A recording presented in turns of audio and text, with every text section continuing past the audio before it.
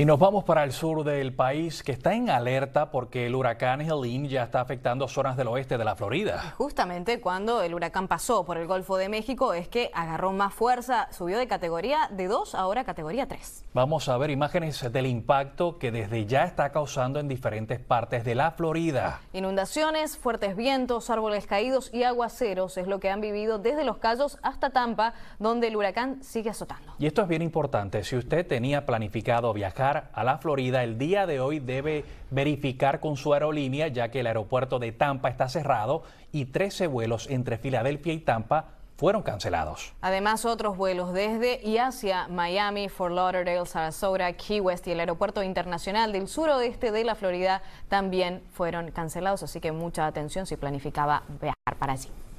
Y para hablar un poquito más de Helene y del tiempo que está afectando el sur de la Florida, vamos con nuestro experto en meteorología, Brian Mendoza. Sí, es un eh, sistema bastante significativo que va a estar tocando tierra durante estas próximas horas, entre a eso de las 9, 10 de la noche, posiblemente a lo largo de partes de Tallahassee y gran parte, básicamente toda la península está bajo algún tipo de alerta. Ahí podemos ver el huracán actualmente categoría 3 con esos vientos sostenidos de 125 millas por hora y está haciendo camino hacia el norte noreste en 23 millas por hora, haciendo camino hacia Atlanta durante las próximas horas, entrando hacia mañana y un poco más hacia Tennessee, debilitándose, eso sí, después de que vaya tocando tierra. Ahí podemos ver esas alertas a lo largo más al norte de Tampa, básicamente entre el norte,